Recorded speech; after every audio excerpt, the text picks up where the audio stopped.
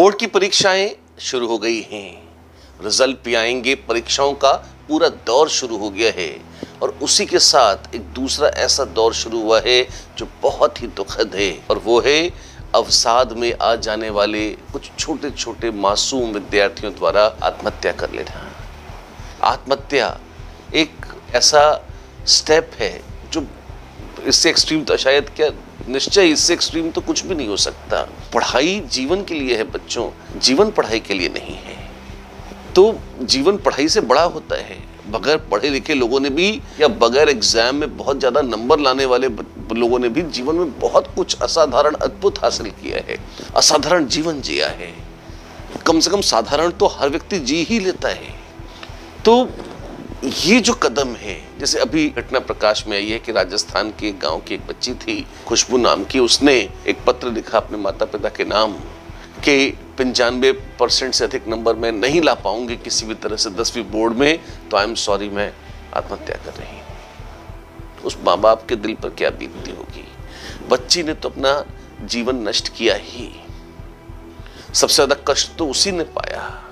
किस मनस्थिति में आकर उसने एक कदम उठाया और पूरे बचे हुए अपने जीवन में माता पिता दादा दादी नाना नानी भाई बहन किस तरह से अपने आप को दोष देते रहेंगे, कोसते रहेंगे, ग्लानी में रहेंगे या अवसाद में रहेंगे कि एक प्यारी बच्ची उनकी अपना जीवन उसने इसीलिए छोड़ दिया क्यों? क्योंकि खाली एग्ज़ाम में नंबर नहीं आने थे।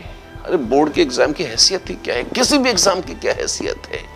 आईआईटी की परीक्षा हो, नीट की परीक्षा हो, किसी एग्ज़ाम की कोई हैसियत नहीं होती। जीवन के सामने जीवन बहुत बड़ी चीज़ है। हम ज़िंदा हैं, ये ईश्वर का सबसे बड़ा उपहार है। हो सकता है आपको लगे कि नहीं, ऐसा जीने से तो मर जाना अच्छा। ये घटिया थर्ड ग्रेड की डी क्लास फ़िल्में देखना आप बंद कीजिए। ये शायरी में अच्छी लगती हैं, है ना? तो शायरी में ही सुनना है तो सुने। आज तो घबरा के कहते हैं कि मर जाएँगे। आज तो घबरा के कहते हैं कि मर जाएँगे। मर के भी जो चैन न मिला तो कहाँ जाएँगे? तो ऐसा नहीं है कि मृत्यु के उस पार कोई बहुत दिव्य जीवन मिलने वाला है, कुछ नहीं होने वाला ऐसा। वो दुखों का अंत नहीं है। तो और प्रचंड दुखों की शुरुआत है, अगर आप आध्यात्मिक लोगों की बात माने, जो मृत्यु के पार जीवन की बात करते हैं और अब आत्महत्या के बाद होने वाली कष्टों के बारे में बताते हैं। शास्त्र उस बारे में बहुत कुछ कहते हैं, मैं उस तरफ़ अभी नहीं जाना चाहता। लेकिन सबसे बड़ी बात है बच्चों हम इसलिए पढ़ते हैं ताकि हम अपने जीवन को बेहतर बनाएँ, अपना विकास करें।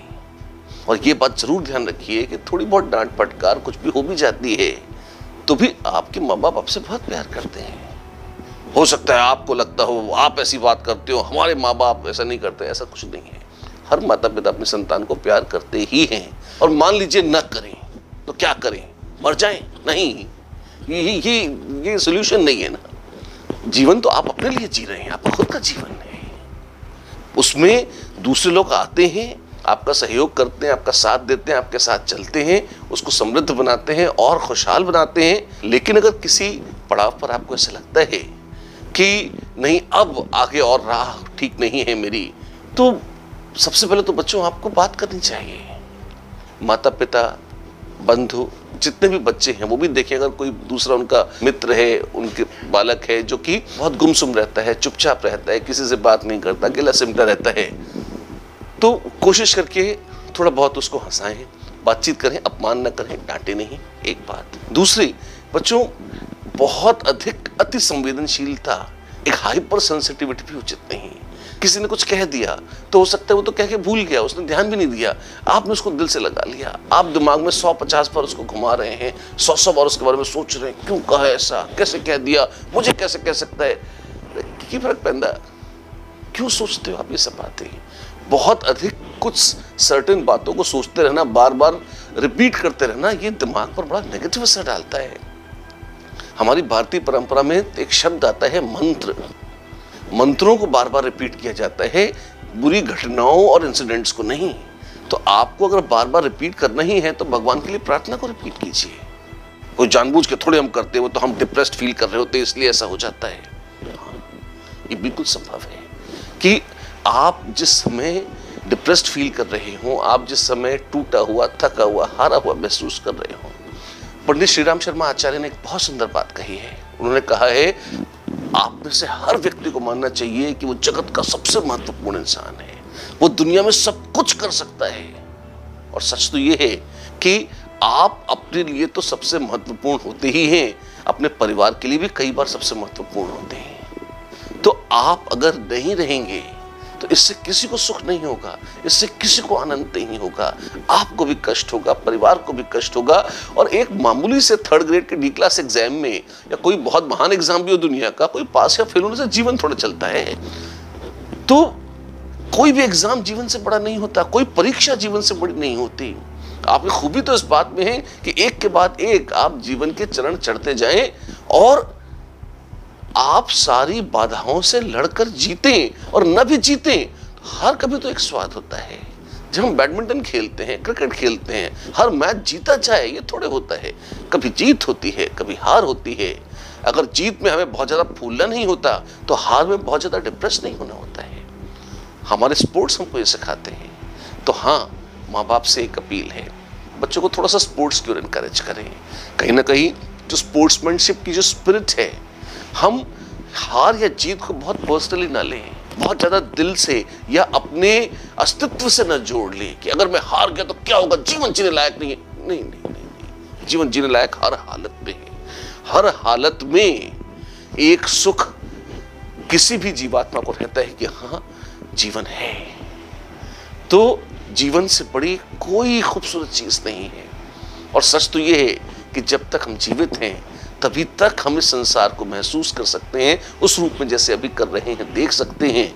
तो जितनी भी ये दुख भरी शायरी और गजलें हैं, बकवास हैं, ये सब खाली जो लोग लिखते थे, वो लिख लिख के हँसते थे और अपना मनोरंजन करते थे, इसलिए लिखते थे। लिखने के बाद और खुश हो जाते थे।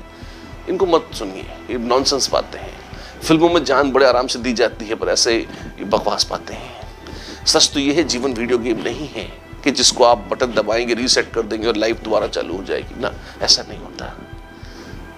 तो मैं तो यही कहूँगा कि बच्चों, अपने जीवन को एनरिच करने पर, खुद को विकसित करने पर, खुद अच्छी बातें सोचने पर, सीखने पर फोकस लगाएँ और जैसे जैसे जीवन आगे बढ़ रहा है, परीक्षाएँ आती हैं, आएँगी। उसमें से हम उत्तीर्ण होंगे, बहुत अच्छी बात है। बहुत अच्छी प्रतिशत से उत्तीर्ण हो, और भी अच्छी बात है, लेकिन ना हो पाए तो कोई बात नहीं, वो भी तो एक जीवन का अनुभव है। जीवन सारे खट्टे मीठे अनुभवों के साथ ही चलता है और कई ऐसे बहुत बड़े लोग हो गए हैं जिन्होंने तो जब वो अपनी परीक्षाओं में असफल हो गए, तभी वो बड़े हुए। अगर वो सफल हो गए होते तो शायद एक बहुत साधारण औसत जीवन जी रहे होते। तो इसलिए जीवन वो बनेगा बच्चों जो आप उसको बनाना चाहते हैं। ध्यान रखें इस बात का और विशेष तौर पर जब भी आपके मन में कहीं कोई डिप्रेसिव ख्याल आए तो बात कीजिए। किसी से भी बात कीजिए, अपने दोस्तों से, अपने माता पिता से भाई बहन से, पड़ोसी से, किसी भी ऐसे व्यक्ति से जिस पर आपको विश्वास हो कि वो आपका फ़ायदा नहीं उठाएगा या मज़ाक नहीं उड़ाएगा। कभी कभी बच्चे कहते हैं कि ऐसा कोई नहीं है मेरी बात सुनने वाला। तो गणेश तो है। गणेश से बात कीजिए। भगवान पे अगर आपको विश्वास है तो बहुत अच्छा है, नहीं है तो विकसित कीजिए। आस्तिकता, विश्वास, आस्था, ये व्यक्ति को बहुत बड़े बड़े संकटों से तार लेते हैं। तो यदि ऐसी कोई नौबत आती है कि आपको लगता है कि आपका धैर्य छूट रहा है, मन का विश्वास हार रहा है तो जिसका कोई नहीं है, वो अशरण शरण ईश्वर तो है ही, जिसको कोई शरण नहीं देता, उसको ईश्वर तो शरण देते हैं। एक कहावत भी है, हर एक को हरि नाम, जो अगर सब जगह से हार जाता है तो भी हरि नाम, भगवान का नाम तो उसके लिए फिर भी आसरा रहता ही है सहारा रहता ही है। अच्छे से पूजा करिए, दीपक जलाइए, आरती कीजिए, या ये सब न करना चाहते हैं तो मन में भगवान का नाम लीजिए, मन में भगवान से बातें करिए, भगवान को अपनी जो व्यथा कथा सुनाइए सुनाइए, विश्वास मानिए, मन से वो जवाब भी देते हैं और आपको जीने की राह भी दिखाते हैं। और कौन जाने किस रूप में भगवान आपके सामने प्रकट हो जाएँ, कभी माता के रूप में, कभी पिता के रूप में, कभी गुरु के रूप में, कभी भाई बहन के रूप में। तो बात करना ज़रूरी है अपनी बात शेयर करना ज़रूरी है और जो लोग खुद बहुत पॉजिटिविटी से भरे हुए हैं, बहुत ऊर्जा से भरे हुए हैं, वो कम से कम अगर किसी ऐसे व्यक्ति को देखें जो उनको थकता हुआ, हारता हुआ दिख रहा हो, उसको सहारा दीजिए, बातें करिए अच्छी अच्छी बातें बोलिए। कभी उसका मज़ाक मत उड़ाइए, कभी उससे कोई ऐसी बात ना करिए जो उसके मन को चुभ जाए, पीड़ा दे, कष्ट दे या उसको थोड़ा सा और उस ऋणात्मक दिशा में धकेल दे, जहाँ कोई नहीं जाना चाहता। आप सब स्वस्थ रहिए, मानसिक रूप से स्वस्थ रहिए, ऊर्जस्वित रहिए, प्रसन्न रहिए और सफल होइए, यही मेरी कामना है। जय जय।